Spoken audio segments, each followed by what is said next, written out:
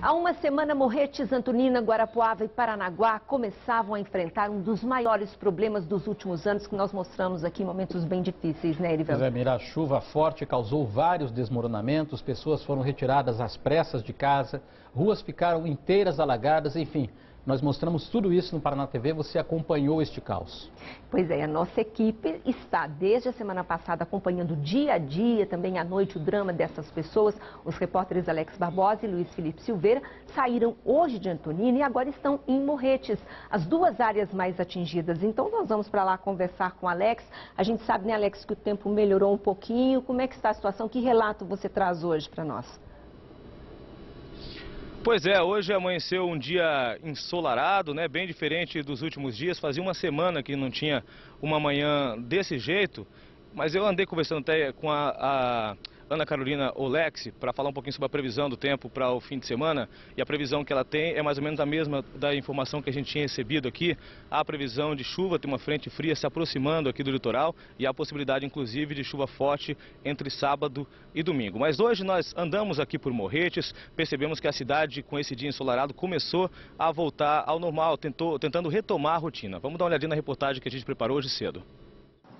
Enfim, uma manhã com a cara do nosso litoral. O dia amanheceu ensolarado e o trabalho de limpeza nas ruas começou. Garis espalhados pelas praças, comerciantes de vassouras nas mãos. E as lojas abriram as portas. Em Morretes, os bancos ainda estão sem dinheiro, fechados.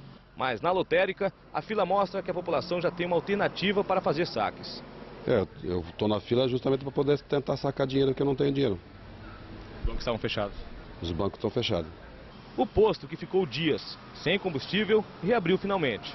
E dá só uma olhada na quantidade de carros na fila que se formou em frente ao local onde se faz a lavagem de veículos nesse primeiro dia de sol forte em Morretes. Alguns carros, inclusive, tinham ficado totalmente debaixo d'água.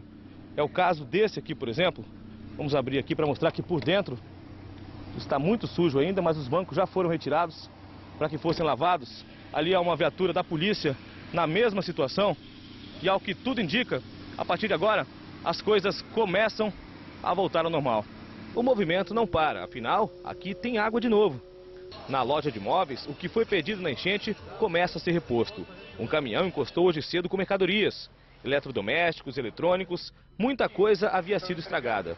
Isso aqui é para recuperar, é toda a reposição da loja que tinha acabado. A água levou tudo, estão trazendo novo. O seu Paulo Sérgio aproveitou logo que a loja abriu para dar uma espiada nos preços do que vai ter de comprar de novo. Perdi uma cama, um, um fogão, vai comprar de volta, né? Fazer o quê, né? Começar tudo de novo. Tudo de novo de volta aí. Pois é, e apesar dessa tentativa de se retomar a rotina, ainda há, de acordo com a Defesa Civil, 16 mil pessoas desabrigadas ou desalojadas. Eu estive conversando com as pessoas da Defesa Civil, elas informaram que nos abrigos o número de pessoas que estão nesses locais está diminuindo, mas não é porque as pessoas estão retornando para suas casas, não. Mas sim porque essas pessoas estão aos poucos encontrando outras alternativas, outros lugares para ir, estão alugando casas ou conseguindo casas de parentes e amigos para se abrigar. Por isso, os abrigos estão cada vez com menos pessoas. Nós estamos aqui é, em frente ao rio Nindiaquara, essa região toda aqui, uma semana atrás, na sexta-feira, estava completamente alagada. Essa é a Ponte Velha, um dos pontos turísticos aqui da cidade de Morretes. Ao fundo nós temos restaurantes que já estão abertos novamente, ou seja, aos poucos a cidade, como eu disse na reportagem, vai retomando a sua rotina, apesar de tudo que aconteceu de uma semana para cá. Erivelto. Obrigado, Alex.